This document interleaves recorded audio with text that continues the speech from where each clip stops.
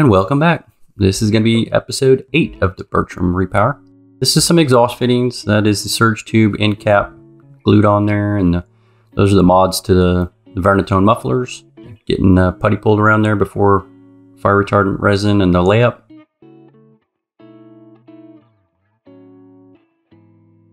Next, we'll be templating the, the Coosa bulk up on this section of bulkhead. We end up with using inch and a half Coosa. You'll see that go in in a little bit. In episode 7, as I finished up there, we found this in our, our shaft log. This is the shaft log tubing getting prepped for installation. And that was a fracture that occurred during shipping, and it was very hard to see at first. We didn't use that section, ultimately. Here's the 5-inch exhaust tubing sitting on its supports. I believe those are 3 quarter inch Coosa. Bonded into the boat yet. Those were yanked out of there and then glassed to the pipe before they were attached to the boat. There's a 2-inch water lift muffler. That'll make a loop coming out of the top. A It'll be a siphon break loop and then dump into that pipe right there. That's the one that jogs. That's that inch and a half Coosa bulk up section. It'll get glassed in and then that five inch hole at the top there where the surge tube pokes through, that'll get cut after this is completely bonded and then glassed in place. There it is primed with vinyl ester resin. And there's the struts. This is the final revision of the struts. And you can see there, we got that 8.05 on that level, but when the wind blew and tide was right, that thing would turn to 8.00. But we figured that was close enough for us to go ahead and get our shaft tubes installed. That's what we're doing here with the, the steel rod in place of the the propeller shafts. Like and subscribe if you guys haven't subscribed to the channel yet. There's also some new features. We'll get into that later. Um, the join button and super thanks and all these cool little things. That's the shaft log tube prepped and fit through the hull. That piece that's sticking out is just going to stay there so we can get proper alignment and get it fully glassed on the inside. And then we'll cut that bottom excess off flush with the hull.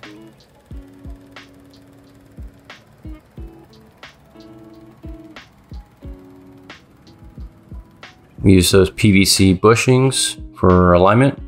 You can see that PVC bushing right there. And that's bonded in with vinyl ester resin mixed with West System 404, a little bit of Cab-O-Sil. And these are looking at the rudder ports. We've got those rudders positioned just outside the shaft. You can see right there. Uh, it's enough room to pull the propeller shaft without having to remove the rudders. It's really not that big of a deal to drop the rudders. It sure would be nice not to have to disturb all the steering system. So that's why those are out there. And another point, this may be a bit of a stretch, but the rudders being just outside the propeller shaft may see better water flow. If anyone has any experience in that, leave a comment below. It would be impossible to prove it unless we did a before and after. Just curious if anyone has any input on that.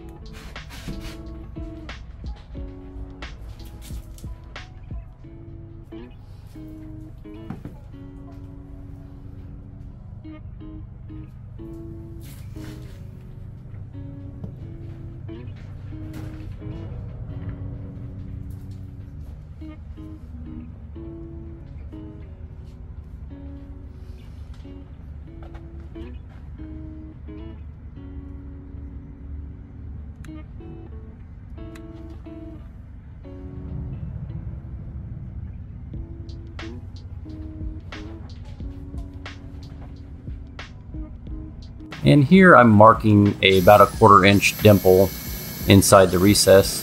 I'm using a drill bit that is the same size as the hole drilled in the strut. And we're just making marks so we can get back to this point if we need to.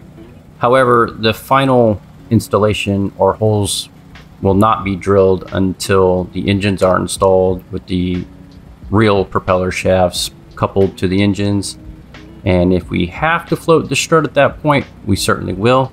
It won't be a lot. We'll see when we get there.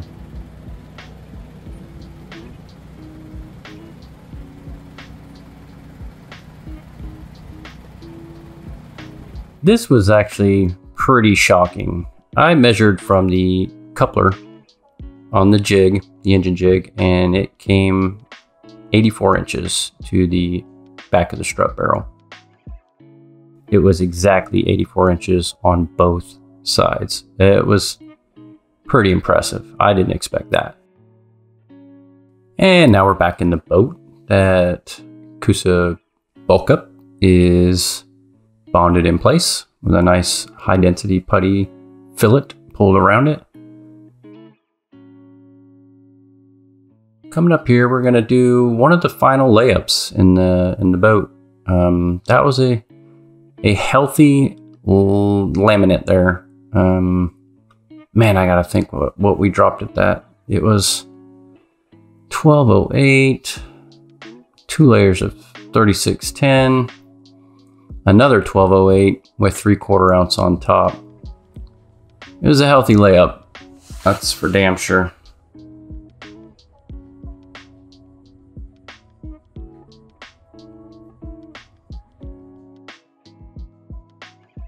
Oh, and this arch. Man, this arch. Whew. Let me tell you about this arch. I had probably, I think, six layers of 3610 cut. I was doing 1208 top and bottom with some mat top and bottom. And I had it about three quarters of the way complete and it slipped and fell. It collapsed. And it was just too much weight for the surface tension to hold. I ended up saving it and getting a couple layers of 1208 up there. Um, but I had to throw away a big pile of resin fiberglass. It pissed me off, but I didn't give up and I got the 1208 on there. And I had to end up doing multiple layups just so that it wouldn't fall like that again. Okay, so that five inch pipe and those supports were glassed together upside down and then it was ready to be bonded in. We wanted to do that big heavy layup from the strut to the shaft log before we put anything else in our way. It, uh, was hard enough to work in there and not having that pipe there was a, a place to set fiberglass and tools and buckets and stuff like that. So we waited till that big layup was done and we got in here and glued these in and they're bonded in with vinylester resin, West System 404 with a little Cab-O-Sil. And turn around here real quick. Look at that bulk up on the ring, this, the arch. I think it's almost done at that point. I have maybe one more layup to go all the way to the top, but the arch is pretty much well complete there. That's just going back. That was the, the final layup that we did there. Uh, we may have added about half an inch of, of glass in that layup right there. There's the exterior. After we ran a radius around all the inside stuff there, I jumped out there, pulled a nice radius around the exterior while everything was still wet.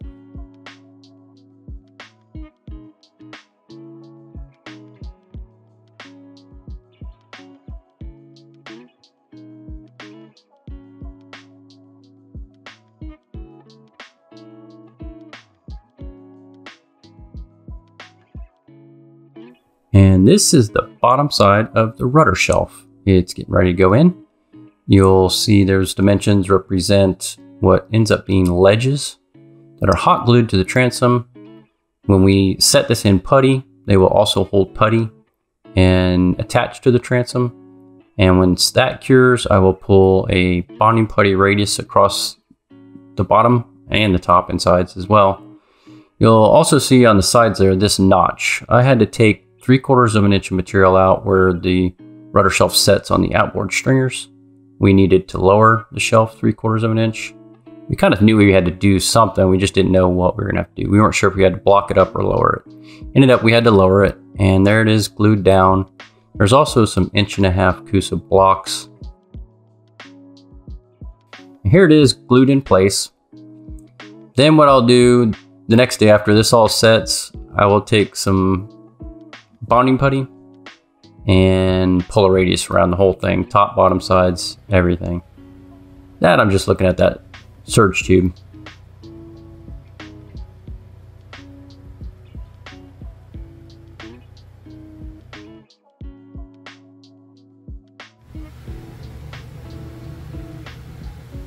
So this is before the bonding putty radius and this is after the bonding putty radius.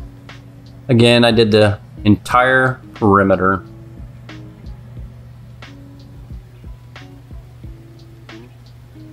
The bonding putty is to make a nice smooth transition for fiberglass to roll from the shelf to the transom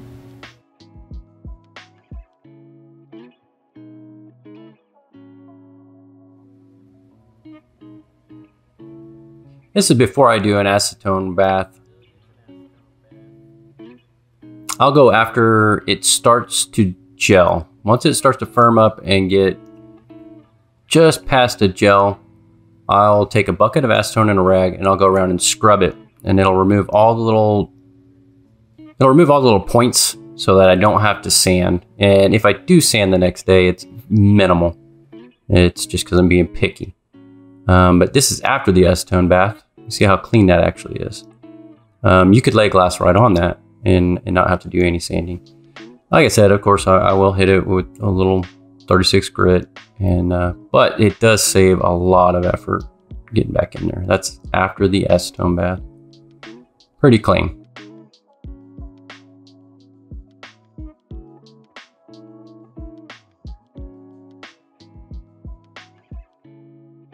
And before I left, I did a layup on the top side of that shelf. It was real easy to do, uh, and it was getting late, and I was getting kind of tired. But I did want to get a glass on that shelf, and I did. Uh, it's like a 1208, 1708, three quarter ounce top and bottom, and uh, seam staggered, overlaps staggered, and it blend, blends in nice. So I get a full layup the next day. Uh, the bottom side of that was not easy. You'll see that.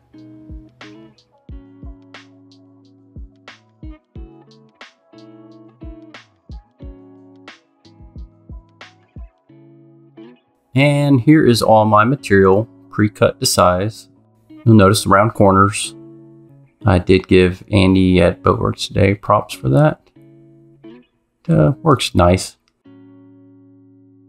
laying up underneath that shelf was a challenge, but it wasn't as hard as I thought it was going to be. Uh, I did have all my material pre-cut, wet it out. It was easy to wet out on uh, cardboard, and you've got to move rather quickly before it falls apart and gets too squishy to lift off of the cardboard and put in place. But that's how I do it. I, I don't wet it out up in place. That would that would be a mess. Um, but I saturate it on the cardboard, lift it up, put it in place. You just just kind of got to move quickly. Uh, if you wait too long, it turns to mush. So it did work pretty good. This is going to come up later when we get to exhaust. If we ever have a back pressure issue, that'll come up. This is the low smoke vinyl ester resin we're using for all the exhaust mods. And I got this from FGCI, Fiberglass Coatings Incorporated.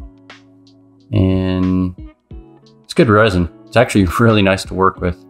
It may be better than the vinyl ester resin I've, I've been using. um, and pretty fairly priced from those folks. Those are the mods. Um, those were laid up with 1208 and 3 quarter ounce. This that little patch there was for an end cap. That's top of the muffler. It was just glued together and we weren't thrilled with that. So we went put fiberglass over top of all the glue seams.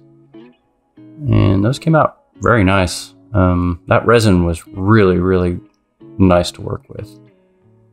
And there's covering up the glue seams on the, the water lift muffler for the generator.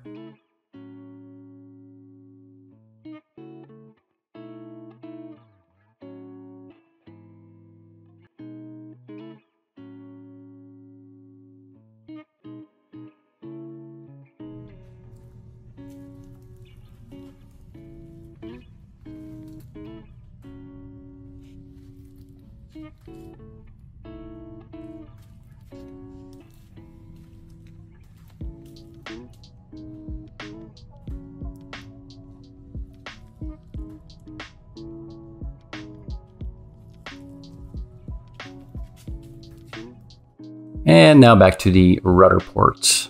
Um, we just finished glassing that rudder shelf, and so now it's time to poke a hole in the top of that shelf. And as you can see there, that rudder is hanging from its own safety collar, and it is nicely centered in that, that reinforced block with the solid fiberglass inlay. And at this point, we were able to check to see how that port lays up against the hull. Those that we know are original Bertram rudder ports. Um, they could be newer in 1969, but either way, they look pretty original. Okay, now we're going to jump around a little bit here. That is showing the Coosa bulk up completely glassed. And then we're going to look over at the starboard muffler. First time it's sat in its actual location, going through the bulkhead. I think we're going to jump back out and look at the rudder ports again. And, um, yep, back here at the rudder ports.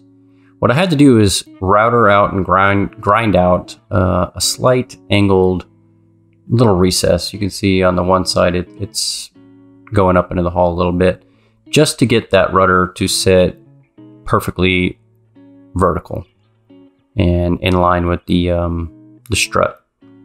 And this was the starboard rudder post. It had been bent and then straightened, but not very well. This is the starboard rudder port recess. All I'm doing is removing about an eighth of an inch of fiberglass on the outboard side. Those ports were not cast to match the exact dead rise. Here we're looking at a moisture meter you see when it pegs there, it's not actually moisture, it's it's a stringer or, or a deck ledge or something of that sort. That right there, you can see there is moisture in the laminate there. But in general, as we go across the transom, it's pretty damn dry. It's uh, it's been opened up and had plenty of time to dry. Uh, I'm not too familiar with moisture meters or not something I deal with a lot.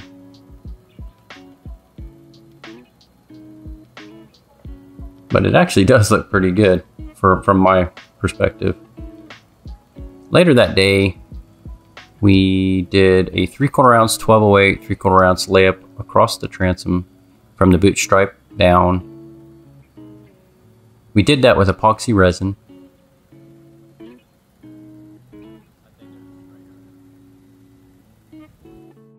And this here is a 5 8 fiberglass tube cut at a 45 degree angle and then glued into the hull. You'll see the fairing on the outside. This will be the holding tank vent. There will be a screen mesh on the inside of this and then a charcoal filter in line to the holding tank. It is as close to the transom and as close to the waterline as we can get. And now we're looking at some rubber strips that I cut to fit in between the mufflers. After I got that eighth inch rubber to fit perfect, I went back and laid a three quarter ounce strip of glass on top of the Coosa.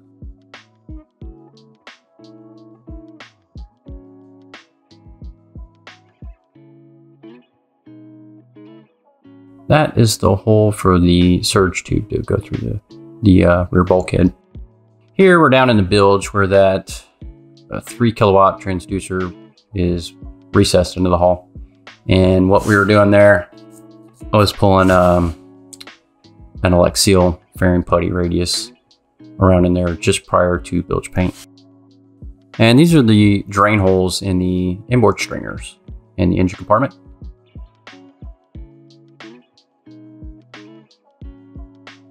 They get sealed with vinyl ester resin. We're to take a quick glance at the muffler cradles trimmed. And then we're going to the engine room bilge. After that, fairing putty gets sanded out. And prepped for the first coat of Diamond Tough. This was my first uh, attempt with Diamond Tough. Some kind of urethane. It's a 4 to 1 mix um, but it's also supposed to be uh, moisture resistant. And I rolled it on. It it did. Uh, it rained very very heavily. It was very humid, and it did fog out. Got a matte finish after it dried. And this is gonna wrap up episode eight. Here you're looking at two coats of high build on that aluminum frame. That is where you walk from the cockpit to the in the cabin door. And that diamond tough was sanded out, so it like I said, it turned matte. And we got sanded that out. And in episode nine, we will pick up right here. This is a gutter system for the engine boxes. And that's where we'll start up again. I appreciate y'all watching. Thank you so much. Appreciate the likes, appreciate the subscribes. Until the next episode, y'all take care. And if you like what I'm doing, give me a thumbs up, leave a comment below, subscribe to the channel, maybe share with a friend, and I'll keep doing it. Thank you.